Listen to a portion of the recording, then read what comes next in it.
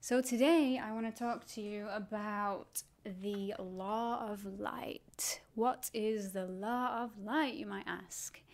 Well, to me, it's the only law there is, and every other universal spiritual law comes underneath, comes inside of this one law that governs absolutely everything. Everything. Everything. Everything. So, where do we start? We start with the simple and we work our way through the complex.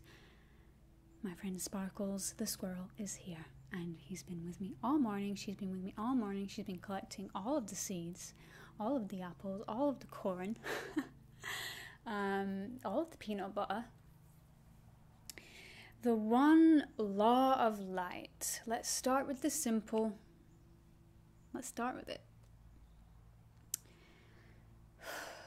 So big, so complex that even trying to simplify it is is easy, yet it's like how.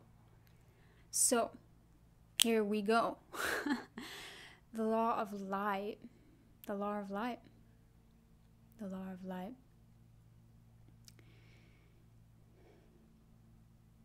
States, expresses, is that Light is existing forever and always, no matter what.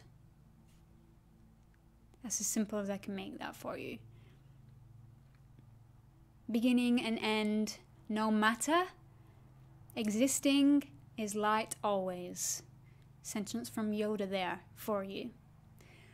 But truly, let's unpack this now because I want to talk a little bit about um, life and death. I've talked about this before. I've talked about the universal spiritual laws before. It was probably one of the first. It's, it is the first video on this channel. It wasn't the first video I ever made. Um, that was an interesting sound. Hello. A lot of birds around here. So, um, here's Sparky. Here's Dovey. Hi guys life and death. Um, bit of an illusion, actually, bit of an illusion. But I'm not going to get too much into that, other than maybe if it weaves in a little bit here and there, because what I'm trying to get to beyond life and death is that it's all eternal, it's all infinite. And one of the biggest things you'll see in our society, in our life, that's trickling down from this one law, this duality, duality, I'm saying that for a reason instead of duality, is this life and death construct that gets divided and conquered. Divided and conquered, divided and conquered, because every time it's being sent out into the ethers, this battle, this this division, this side that wants death, this side that wants life. Every time it's being sent out into the ethers, which nobody can help that, by the way. That's the one of the laws is that earth, wind, fire, water, ether. They are what govern the foundations of life. Okay, so this is these are laws within the one law of light, which is that light will forever exist no matter what. It cannot be destroyed. Energy cannot be destroyed. It's first. Energy is first. Energy can only be transformed into something else. Hello, starlings. It's like 50 starlings coming again. I love it when they come. Um, in big families, they're always chatting together in the trees here. So, what is this battle about, you might ask? Well, it's about life and death. There's a faction of they're wanting to be death, and it's in all of us. And there's a faction of they're wanting to be the most beautiful, divine thing that there is, which is life. Cannot be destroyed. Energy can only be transformed. And even then, even then, when it is transformed, i.e., the Big Bang, because that's a loop by the way it begins and ends begins new universes and ends new universes but that ending of a universe is the beginning of a new one pretty big, I know. It's just that I, I had this fear of death at the age of seven, I've told you guys, and I seen, I don't know if I mentioned this, but I seen universes exploding, and I thought that was the end of my life. But what I remembered actually about this after having delved deeper in these 27 years I've been on this planet and being a very deep thinker, you know, this tends to happen, and I'm grounded it in with you here and now, is that it's not the end, actually. When the Big Bang happens, whether it's beginning the end, beginning or the end, um, all of that energy, stardust, what, whatever you want to call it, is transferred into the next dimension, into the next universe, into the next, next, next.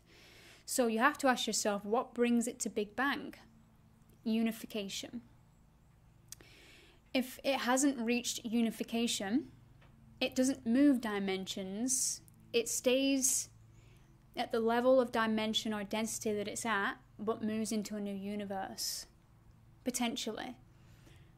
There's some things there that I'm, I'm hearing it could even stay the same. It could just time loop back on itself and have to do the whole thing again because unification was not found. It was not met for the majority.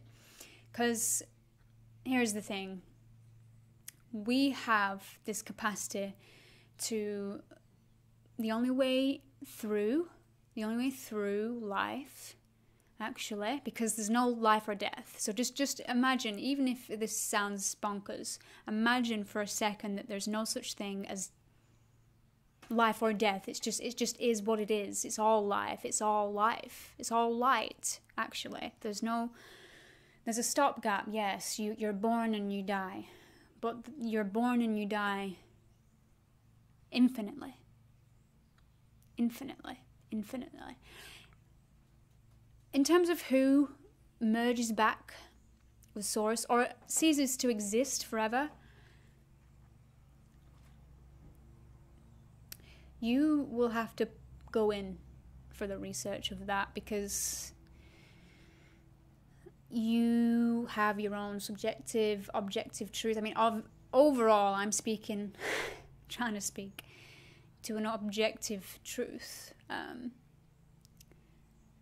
but to be honest, it's so big and vast, I cannot cover all of it. All I can do is touch the basics. But the way that I understand what I'm relaying to you fully is that if we do reach unification when the Big Bang happens, and that, that's the way out, by the way, when the sun explodes, that's the way out into a new um, physical dimension, although it can be a slightly higher density, let's say. You know, you might call it 5D, but I don't want to get too. With some of these words, um, when they get used too often by people that don't know what they're talking about. Hi, GP. Uh, when when people don't know what they're talking about, and you might think that about me. So I know it's it's a strange world we live in, but um, it it can warp the meaning a little bit. So just see it as densities and dimensions, actually, and that's what we're climbing through with life and death, throughout life and death. And one of the things that tends to happen is if there's souls on the planet that want death only because they're sick of life, they're like, why is there no end to this stuff? Right? They get really angry about it, get really upset about it. It's like, why am I in prison for infinity? Because to some, life is like a type of jail. Because they can't appreciate that energy is first and that light will always exist. All right, this is the root suffering cause of everything. This is the split we all have from consciousness that even though even though we are split from consciousness, we still have a part of us inside of us that is part of source consciousness that is untouched forever.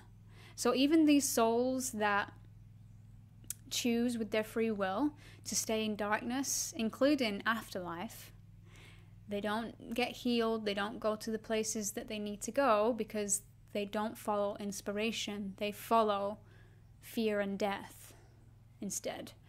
Um, what tends to happen is that they'll live this out for a very long time because they're stubborn. They want they want to sit in the darkness for as long as possible because they just do not want life or light to be the one rule, the one law that there is. It's the only law that there is, but they still don't want that one law.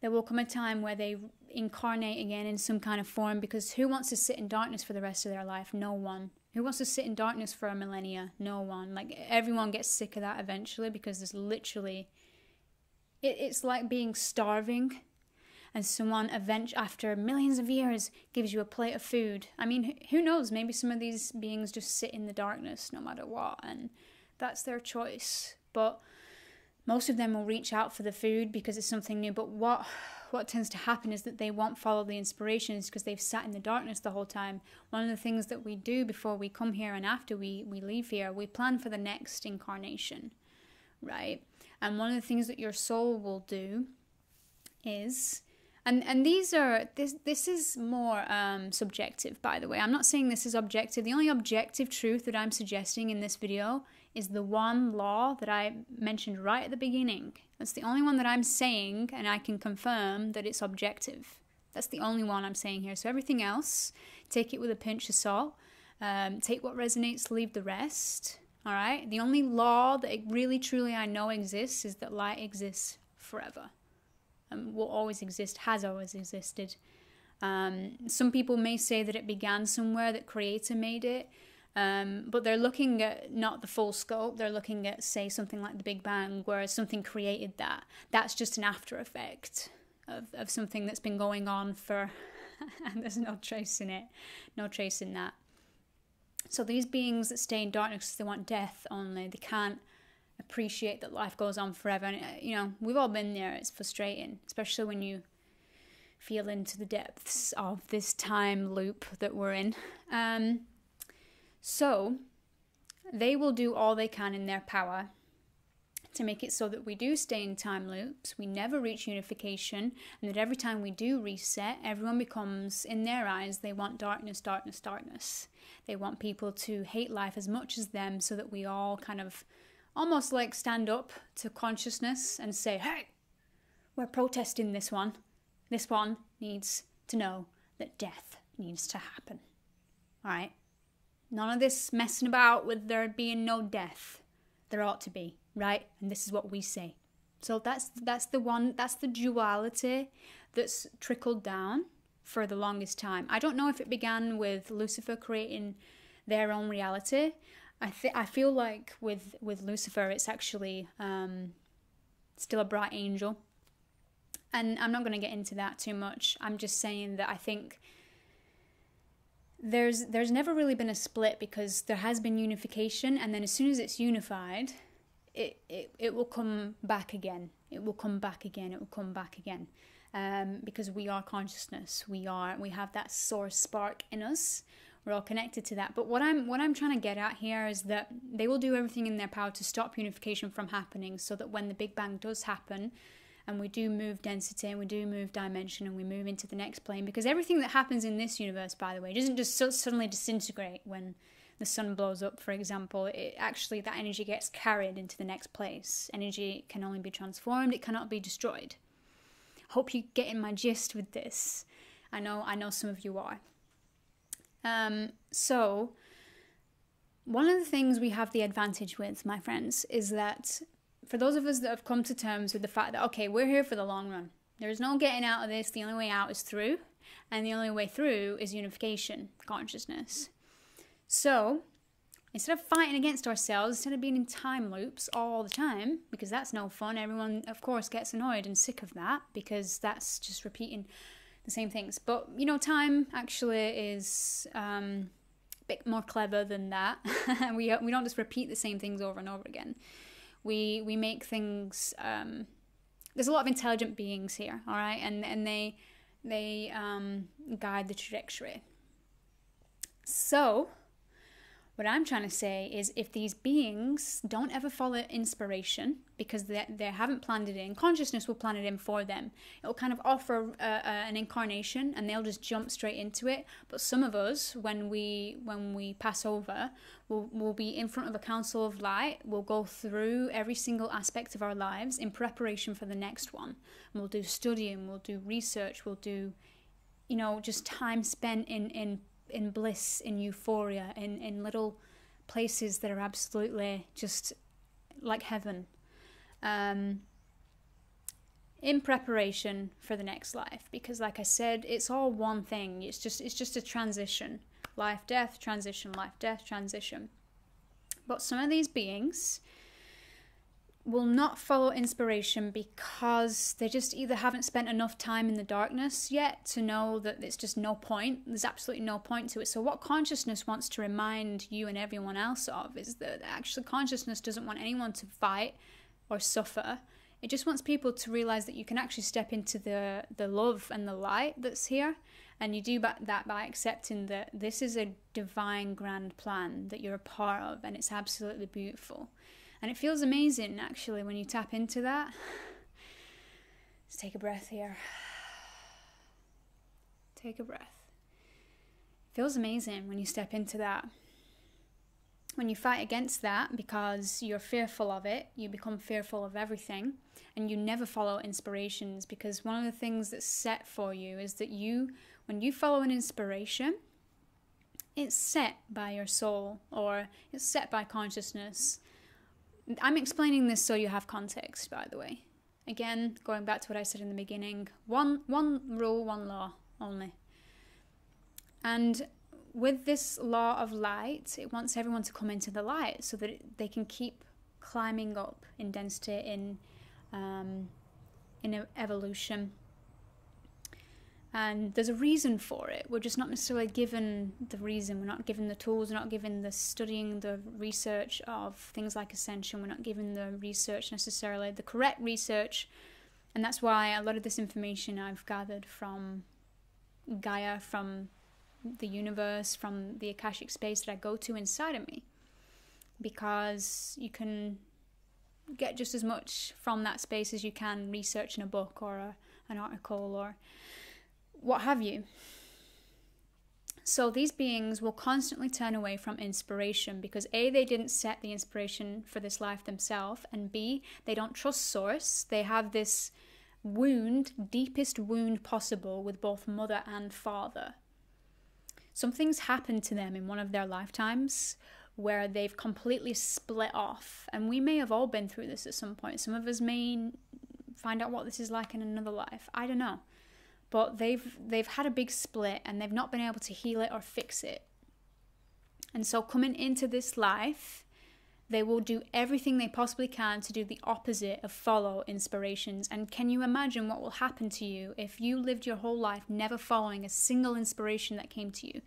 You'd be very sad, angry, depressed. I mean, talk about the people that do follow inspirations. I already get depressed and I follow inspirations. So the people that don't, they can cause some serious pain and suffering here because they themselves are in serious pain and suffering. So I hope I'm making myself clear with all of this. Um, basically, the law of light is that it, we're, we're here for infinity. And whether we merge back with consciousness or whether we, we go into soul form and we kind of wander the ethereal realms in order to prepare for the next life and prepare for the next density, it doesn't matter. We're here for infinity. We're here for light. Energy is first, and that's the only law that there is. And so, once some of these beings that just want death realize that death can never happen, not really, you can have suffering. You can have suffering. Yes, free will states that you can have that. If you want it, you can have it. But there are systems in place, there are those intelligent beings, wise beings with truth, actual truth, linked in with universal wisdom and love that have been watching our timeline for a long time and they will here's the thing right? And this is getting a bit deeper so um, this is getting deeper now. But one of the things that i've kind of i feel like is important now if you're still here for this video one of the things that i feel is important for you to know is that we've already reached unification consciousness. But what happened, and here's what happened because technology and time is tricky. We we have those that would use benevolent technology when needed in order to make sure like in order to make a decision that's best for all concerned. And what happened in one of the um, time loops that we're in is that we already reached unification consciousness, but we have to work all the way backwards. We have to actually program it in. We actually have to live it here and now in these bodies, in this lifetime. Me as Kim has to live it, you as you has to live it, um, so that we can actually say we did it and, and have it be a true law. Because one of the things that can happen with unification is that it doesn't move on to a new universe, it can actually go back on itself in order to show everyone that this is possible. Now we just have to live it and we have to follow the trajectory. We knew it was a risk to do this. They knew it was a risk to do that. But the thing is is that they made a decision based on the best information that they had. So this information because I, I asked them, well, why would we not just follow the timeline the way it's linearly going? And they said that you know that doesn't always work. And we we might still be in a type of caveman period actually if they hadn't have interfered with our timeline. Which i said well what what's wrong with that? Like what's wrong with just letting time take its course? But i can see that they made the decision they did for the reasons that they thought were the best. And that's all anyone can ever do all right? There's no when you're when it comes to subjective truth there's no objective truth. I'm i'm i'm saying that there's only one objective truth and that's all i'll ever say because i don't think there's anything more than that. I don't think there's anything that we can say is an objective truth apart from that light will always exist because energy is first and cannot be destroyed. It can only be transformed that is the only objective truth that I've ever been able to sit here and say, honestly, being 100% vulnerable, honest, authentic with you right now. That is the only one that I know of. I know that there may be other objective truths like gravity, but you know, there is whatever. So, subjectively, we have to make decisions, right? And the light, consciousness, just wants us to step into light, just wants us to step into love. That's all it's trying to get us to do. It doesn't want us to fight. There's no army going on here, people. There's no army of even love and light. I mean, there is, and it's definitely a real thing. But what I'm saying is, we fight with love. We fight with wisdom. We fight with truth. We don't fight with some of the. We don't. We don't stoop to that level where it's all dark and dingy and fight with the, with all of that stuff. I mean, that might happen for a time. But I'm just saying like I think the level that we're at right now as a collective, we can we can uphold this one space of if you can just accept that life is this divine gift and you can just get in tune with it and you can love yourself from the inside out things are gonna be okay. Unification will eventually happen. And you know what happens when unification happens? It's incredible. It's absolutely incredible when that happens. That's all I'll say for now. So, thanks for listening. Peace to you and blessings your way.